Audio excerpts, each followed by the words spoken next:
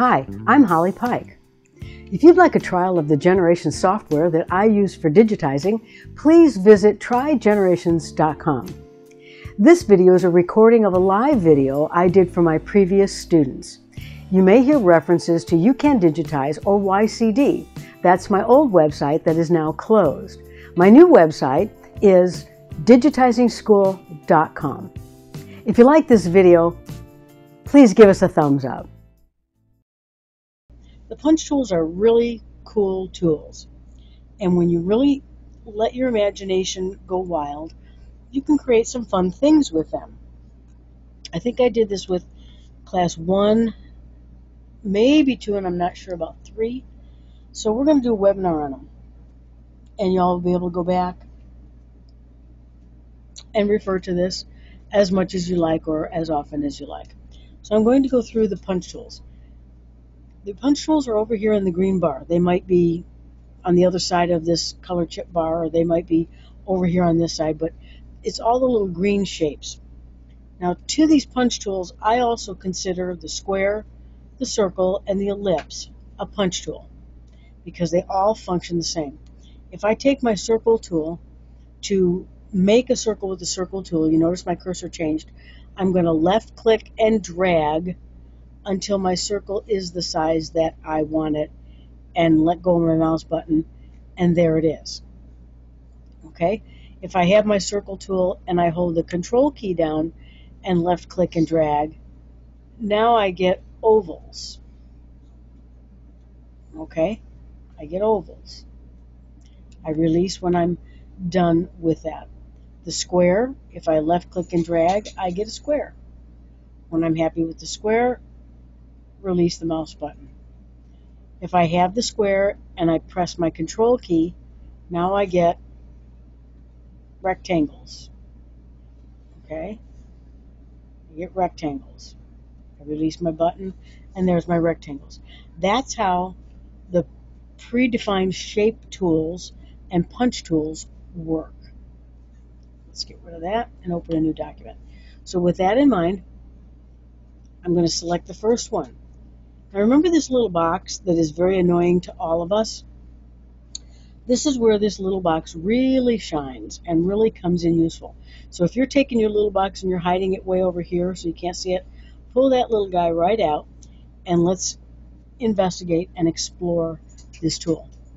If I click on area, I can now do the drop down and I can either do a line or an area. So if you just want a line box, you can get just a line. If you want a fill or an area, you can get an area. It's going to look the same until we generate it, but you can kind of change those those things a little bit. We're going to leave it as an area. I'm going to left click and drag, release when I get it the size I want it. Notice it did not generate right away. That's because when I hover my cursor over that little bitty blue box, my cursor changes to like a little porcupine. And when it does, I can left click and drag. I can drag it into a circle, or I can drag it into a square, or anything in between. When I'm happy, I'll hit my enter key and it generates. You can still change the size of it and everything that you want to do afterwards. Just remember to generate. So that is the, let's see what they actually call it, um, round corner rectangle. Okay, you can make a rectangle or a square using that. Let's see what happens if I use my control key. Well, it's easier to get a rectangle if I use my control key. Actually, I get a rectangle. See that? No control key. Okay. If I hold my control key down, oops, go away. I hold my control key down, it works just like the other one.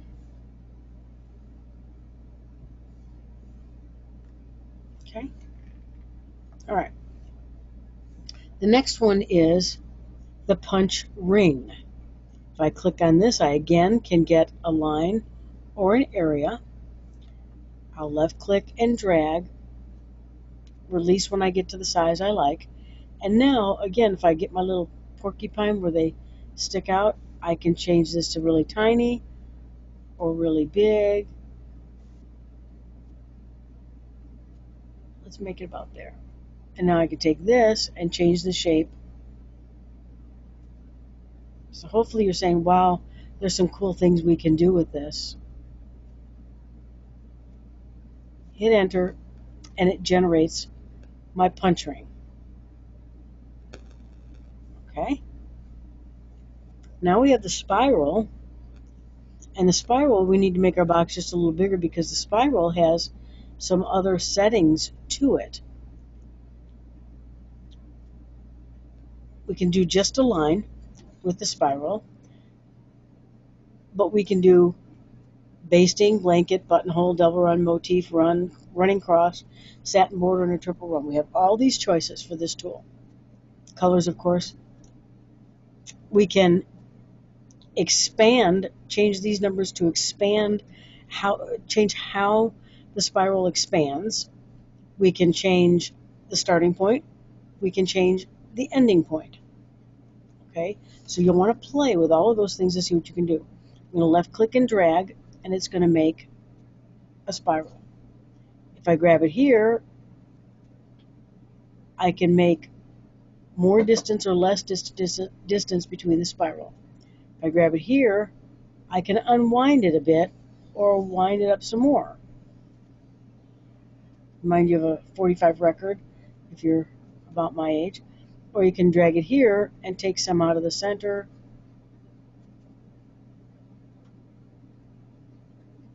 Or put it back. Hit enter and there's your spiral. Now cool things that you can do with the spiral is you can put lettering around the spiral or you can put a motif around the spiral, or pretty much anything you want to do, you can do with the spiral that you can do with a line. You can change it to a single run or any of these things. If you change it to a motif border, you get that. If you change it to a blanket stitch, you're going to get that. Oh, that's interesting. That's a buttonhole. That's kind of interesting. Um, come up here to satin border. Get what looks like that record player licorice. I kind of have record players and, and food on my mind tonight for some reason. Okay, so that's kind of how the spiral works. I'll put that up there. The next one is the star, and we have some things that we can do here too. We can do an area, an auto, or a line. I'm just going to do an area, but look right here. It says N. That's the number of, of points on your star. Okay, so for now, I'm just going to do a five point star. Lift my mouse. Each one of these will do something different.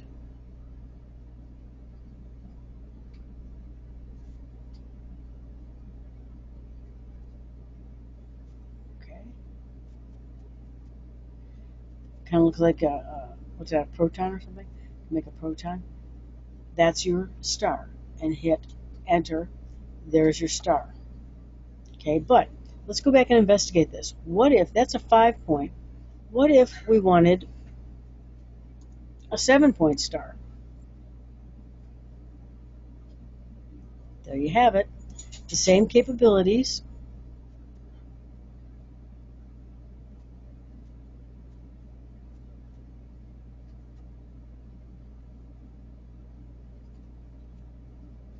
See some possibilities there for um, ways to use that. The next one is just the um, the line star here, and you can change again the points on the on the polygon, or you can change this. I think you can change the step. Yeah, change the step from one to two. I'm going to leave it at two because that's the default. I like to show you the default before I start playing with any settings. So here's your line star. You can change this setting up here. Hit enter. And now you have a line star. You can, I believe, change these to whatever you would like. If you want a motif border, you can you can change it to that. You can do whatever you like with it. Any questions so far?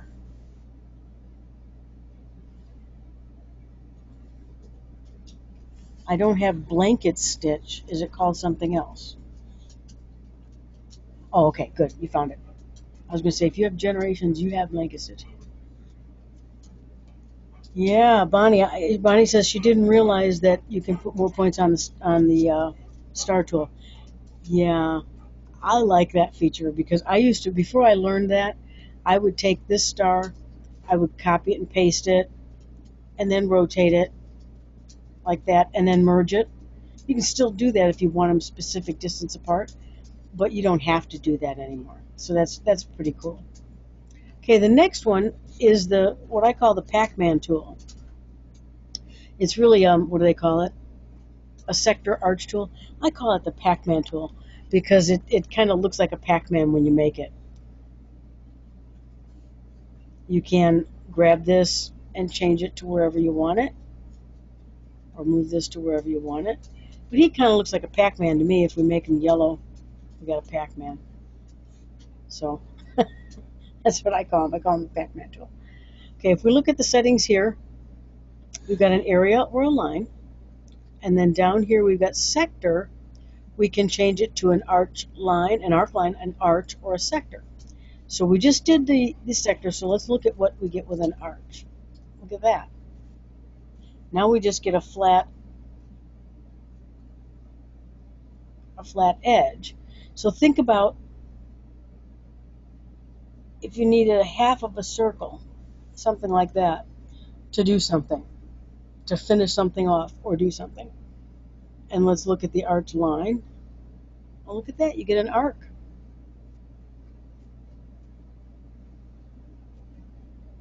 Look at that. Pretty cool, huh? But now there's nothing assigned to this, so let's go ahead and assign a triple run to it. And uh, so with the line, you're going to need to assign some type of, of line to it. Okay, you're going to have to have something like um, a double or triple run assigned to it so that it actually has stitches. Okay, the next one is the moon. And the moon, again, you can do area and line and that's all the settings you have. But you have the moon, and you can change the shape of that moon. So you can have just a sliver of a moon, or a crescent, or you could go to almost a full moon. you could just play with this and do, excuse me, any number of things that you'd like to do. Let's move our little Pac-Man around. So, okay, good. Move these guys. Now we have the cross, and again, you can do an area or a line. And the cross is just exactly that. It's a cross. Excuse me. You can make it skinny or just with a notch in the corner you can make it fat on one side, skinny on the other side, or balance them, or whatever you would like to do. When you're happy with your shape, release it and hit enter, and there's your cross. Haven't really found a good use for that one yet, but I'm sure if we were to play with it for a while, we could come up with something. Okay, I'm going to make some of these smaller so that uh, I can get them on the screen, kind of.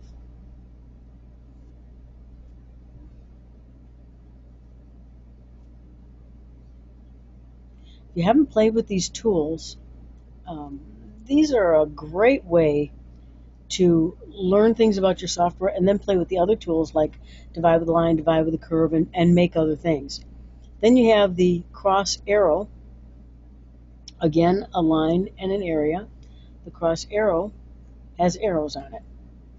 Up here, you can change the arrow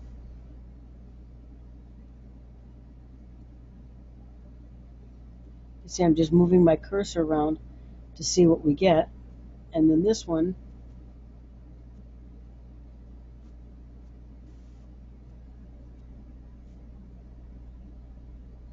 okay, you're happy, hit enter.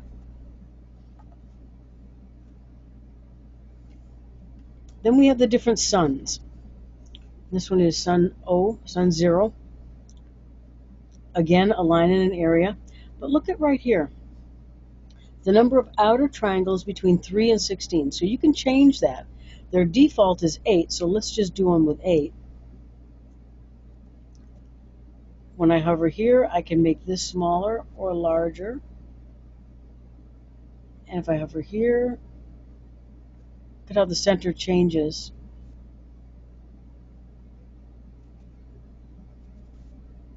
You can do all kinds of different things if you like with that. The next one, again, an area and a line, and we can change the number of outer triangles on this one but this is the default. Here you can bend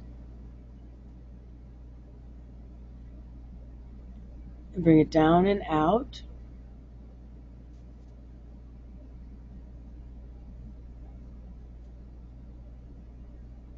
Bigger or smaller.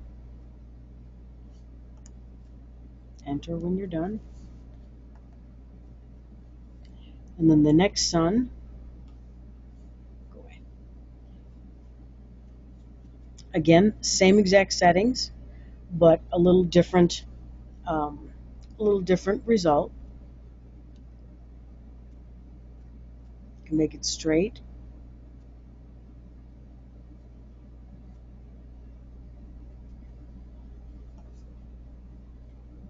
Lots of different things that you can do with those. And then last but not least, the heart. You can do a line or an area and drag and place your heart.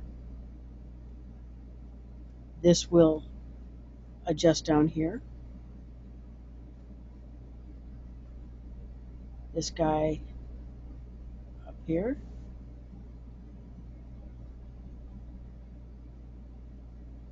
Hit enter when you're done. That's all your punch tools. And you might think, well, wow, I'm not really sure what I use those for or how useful they would really be. But once you start playing in your software, you will start finding uses for them. One exercise that I think, I'm not sure which class, you guys can verify for me, I gave an assignment to was to create things in the software without using any artwork.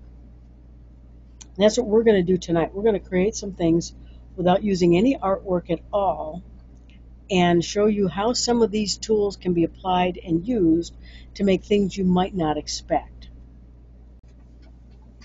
let's see. Let's let's do let's do a haunted house scene. How about that? No artwork. No artwork at all. A haunted house scene.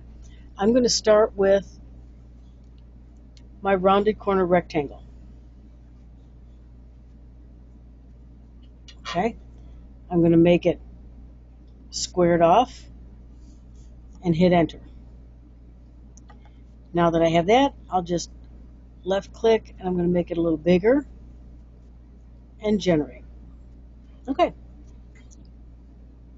Let's make it let's make it purple. So it looks like it's nighttime and it's a haunted house. Okay? All right, now the next thing we're going to do is we have to make this look like a house. So, let's right click and go to our view outline icon and edit outline mode. Now remember if you grab these lines anywhere, you can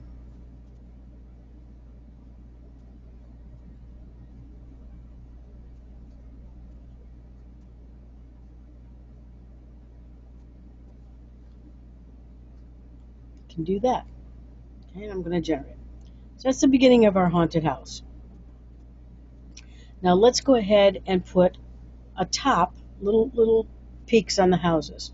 So again, I'm going to use my square, go out, make it flat. I'm going to divide with a line.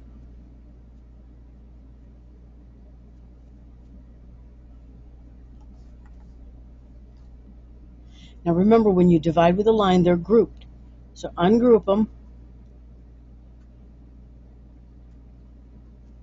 hello. I'm going to take this one over here. Remember all of our alignment? We did a, a webinar on alignment. Let's overlap it a little bit, double click to rotate.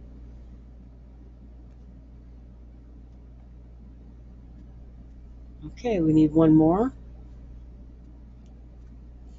Enter. Oh, I didn't make the corners round. So let's delete it. Now I could use my box tool over here. I just chose to use the tools that we were talking about. So here's my draw box.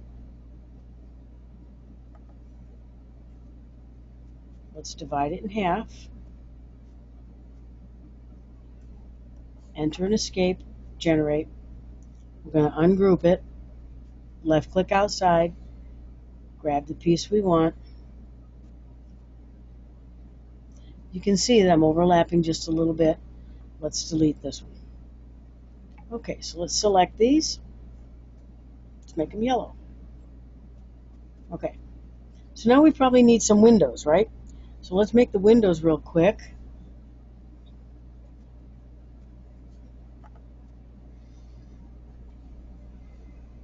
Copy and paste. Copy and paste Let's make this one a little smaller and generate. Now we'll make the windows a little differently for each window. I'm going to select them all. I'm going to put an area or an outline around the area edge with a triple run and I'll show you why in a minute. Let's go back to our windows. Remember the gradient fill that we talked about? And I said there were some really good uses for gradient fill. This is one of them. Go to accessories, gradient shading. Our first color is going to be yellow. Second color is going to be orange. I'm going to disable the underlay because I don't want it crossing the opposite direction. Okay. Now let's just play with these settings. Notice how your settings change up here a little bit. Click OK. But nothing happened. Generate your stitches and you get your windows.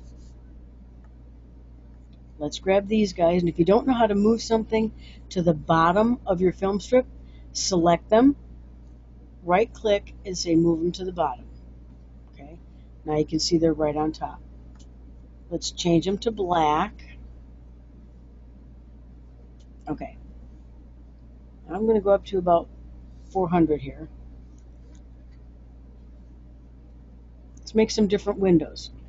I'm going to hold my control key using my line tool. See how nice and straight my line stays? Like that. Same thing here. Halfway. Like that. So that's my third window. Select them all. View outline icon right click and merge. So now that window is merged. Let's go up here to this one. We'll just go to 200 on this one so that you can see. I'm going to select my line tool and let's just make what are they called jalousie windows kind of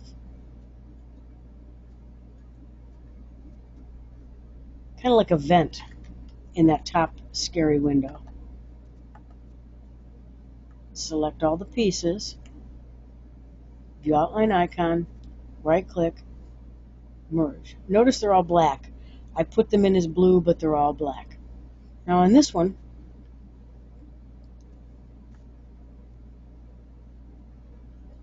let's just make this a slider window. And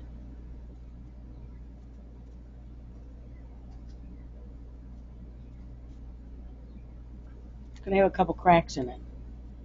So I'm going to take these, the outline icon, merge. Got three different windows, just using the line tool and the gradient shading. Questions?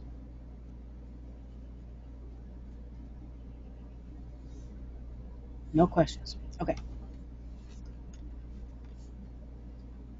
So what else should we put in the haunted house? I guess we need a door, right? Okay, so let's make a... Uh, let's make a door. My windows might be a little big, but that's okay. I'm going to left click and drag my door down to the bottom. Generate my stitches. Let's change the angle a little bit. Now I don't like just that plain old flat door so let's select it with a left click and look what lights up over here. If I select it with a right click, that's not active. If I select it with a left click, it is. And what is this, you might say? This is our Reshape Object Box. If you haven't used this, this is a pretty cool tool. You can reshape your selected, with a left click selected items to any of these shapes. So let's just use, let's use this one. Say OK, and you can see the shape that it's going to be. At this point, you can pull this down or do whatever you'd like to do with it. Like that. Hit enter, and it makes your door. Okay, let's make it a little shorter. and make it brown. Okay, so what else should we add to the house? Can you change the angle on the gradient fill? Yes. Yes, you can. Oops.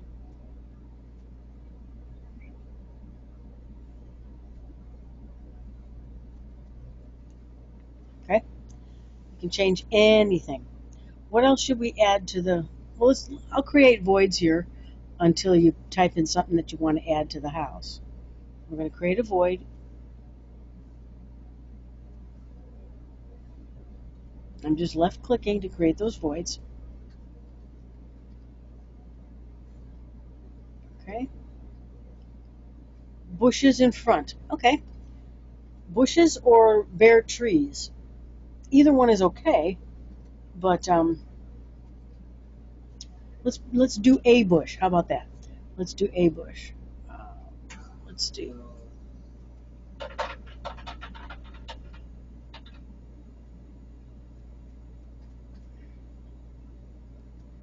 If you cross over, they don't like it.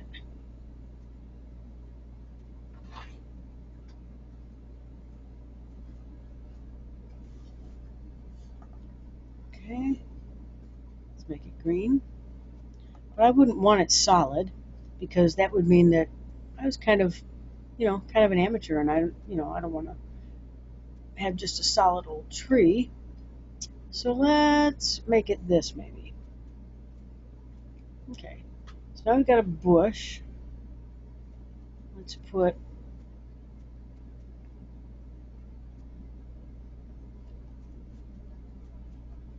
Oops, go away.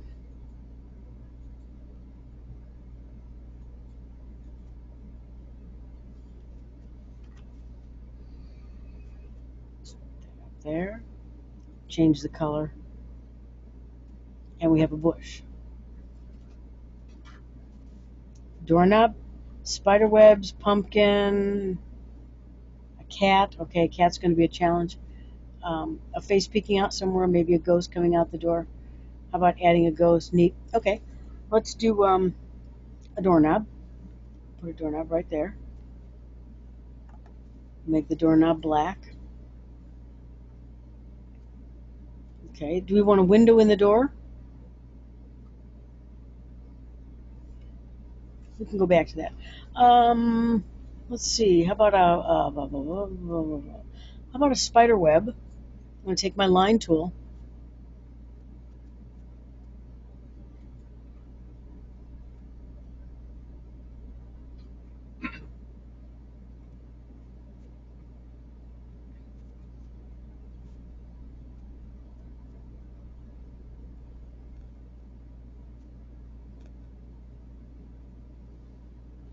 I'm just putting lines in that then I can merge. And, and believe it or not, spider webs are pretty, um, pretty balanced in terms of how those little guys make them. It's pretty amazing. Okay, so now we have a spider web. Let's take all the pieces.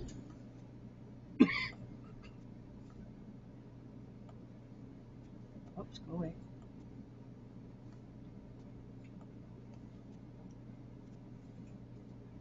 Right click and merge. And let's make it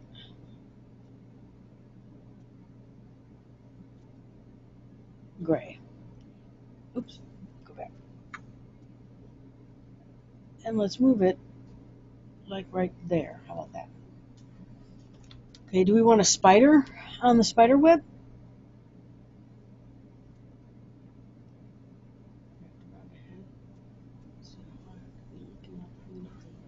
Can the spiral be skewed so it can be wrapped around a head since it is a haunted house? He could be looking out the window in the lower level. Could the spiral be skewed? Okay. Well, let's see.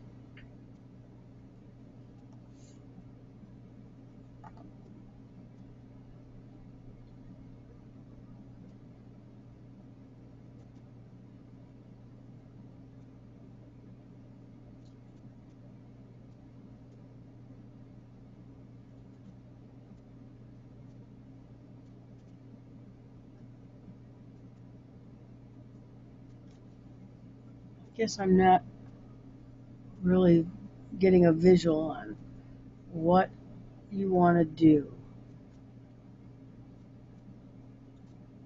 Wrapped around a head. Help me out. Give me more information. I'm not getting the visual of, of what you would like. Gray ghost behind the window shadow. We can put a ghost in here. Help me out with that idea there. Let's make a ghost.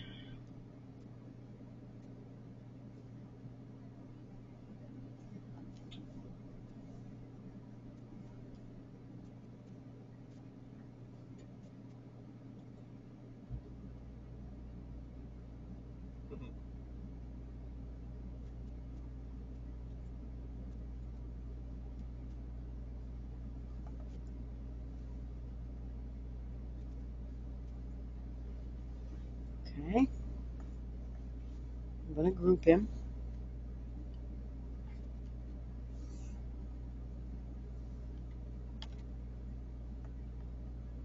push him to the top. Let's give him some eyeballs.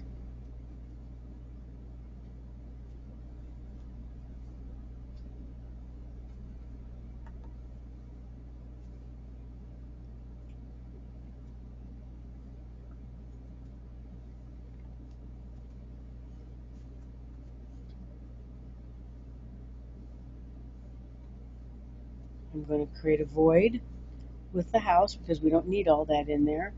We've got that little ghost. It goes black.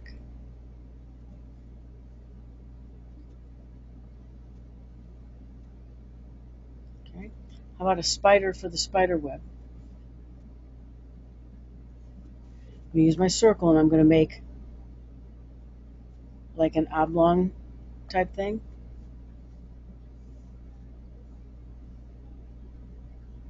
In black. Now I'm going to use my line tool.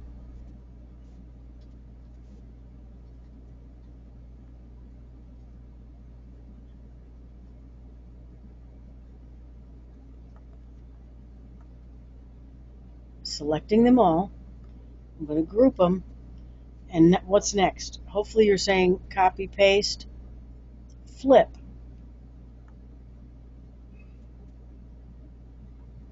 These guys over here. I'm going to put a line in here so I can merge them all.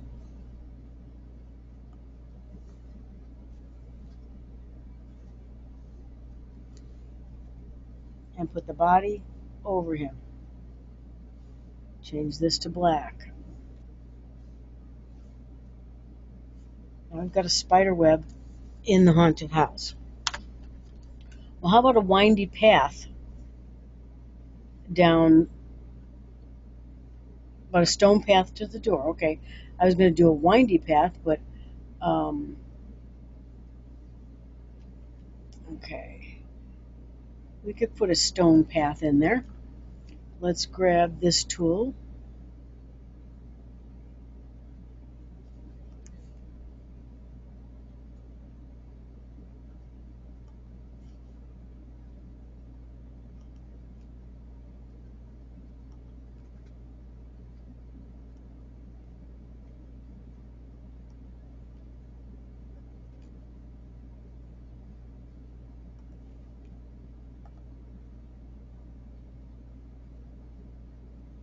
need a little bit of imagination.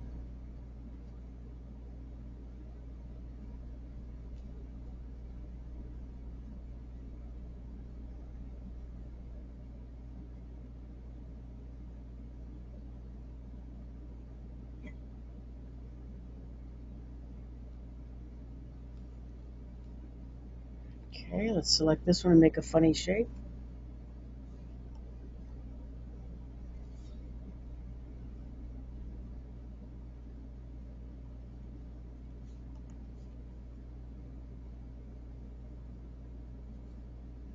Just hitting enter to finish it.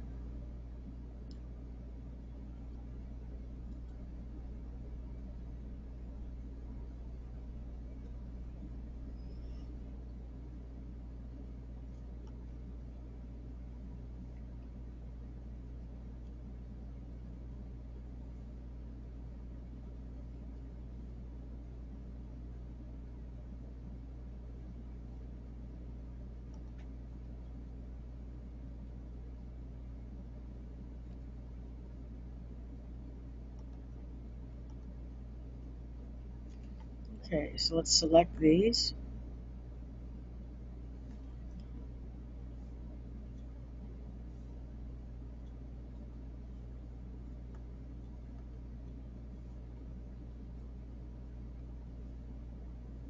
Okay, there's our stone path leading up to the house. Okay, how about um how about a broom?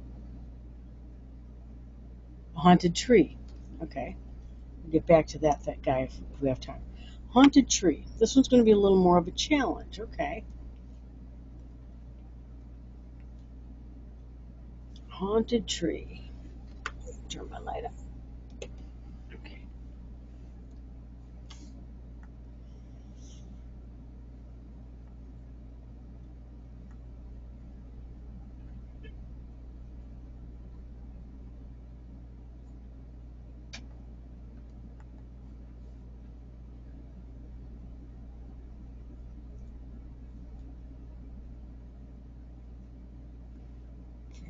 Let's go over here and see if we have a shape that might work.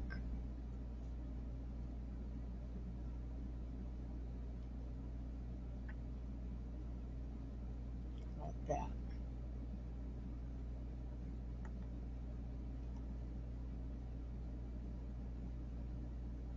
Let's flip it the other way. Now,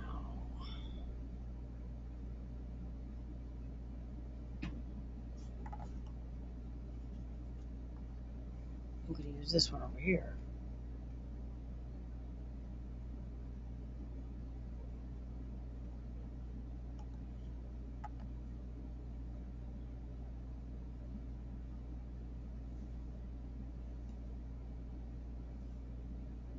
Let's go ahead and reshape this guy.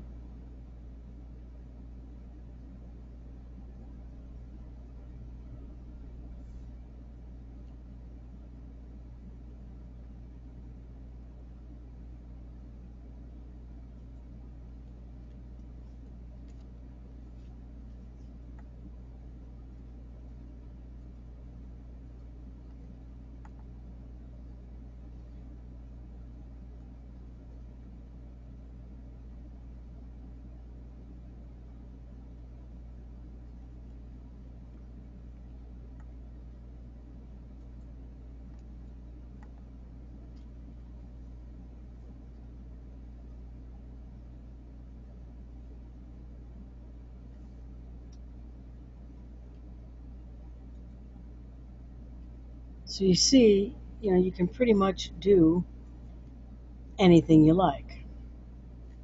Let's make these brown.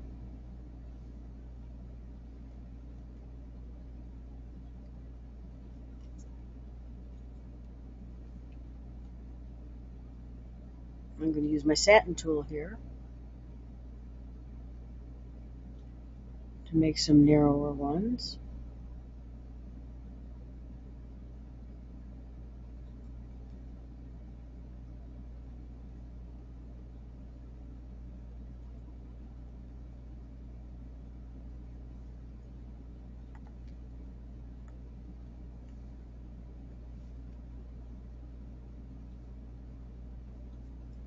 Kind of like a haunted tree.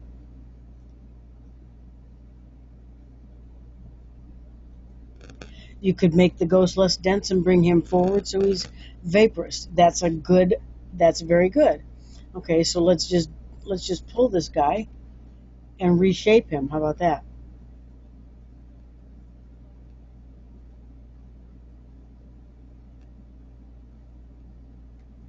This is what I like about the software is nothing is forever.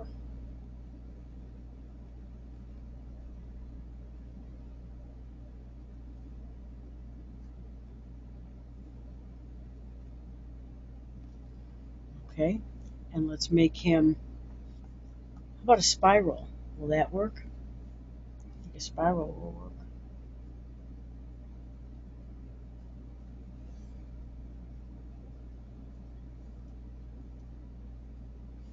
Now we have to put him here. Like that. so you're kind of getting a feel for the fact that you can do all kinds of things with this software without any artwork and you can learn to use the artwork. Let's make let's make a bat. I'm going to take my my uh, moon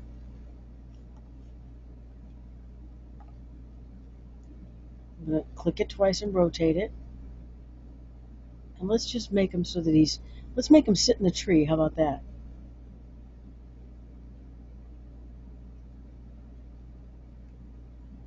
Okay, I'm going to take the same circle tool. I'm going to make an oval.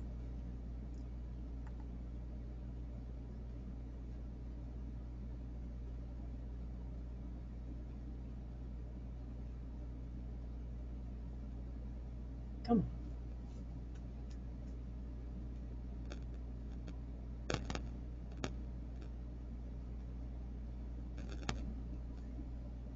Copy and paste and flip. Come over here.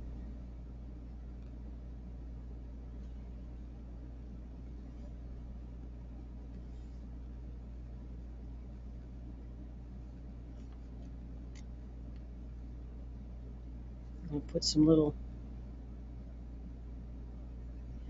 Don't they have little things on their head? They're called ears. Ears? Yeah, I guess they're ears. Draw a box around it, group it. Draw another box, turn them black.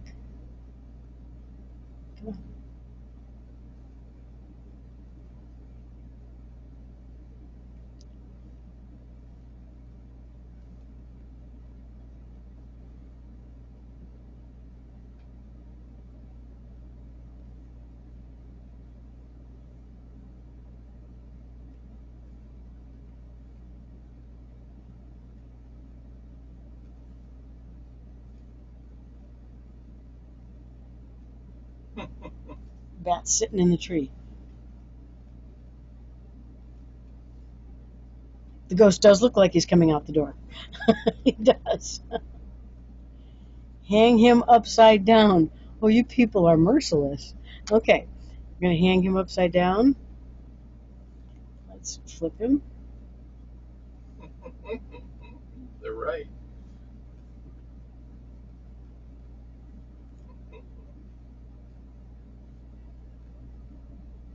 Notice I'm just using my mirror image to get him to mirror image. That's better. Creepy Halloween house. Yeah, they do hang upside down. I, you know, see, you guys should be having hope. I don't even know that bats hang upside down, and I can do this. Come on, seriously. How about a witch's broomstick?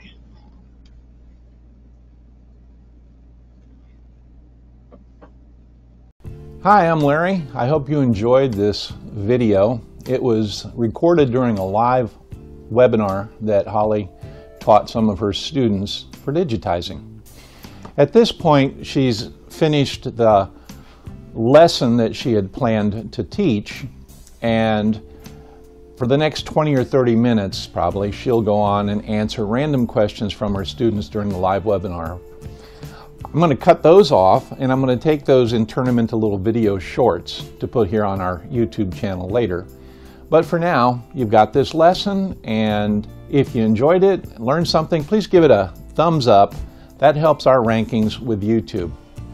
Um, also, if you'd like a copy of the software that Holly's using so that you can digitize along with her, we can get you a 30-day trial that's fully functional if you just go to www.trygenerations.com www.trygenerations.com and we'll give you all the details there. Thanks for watching.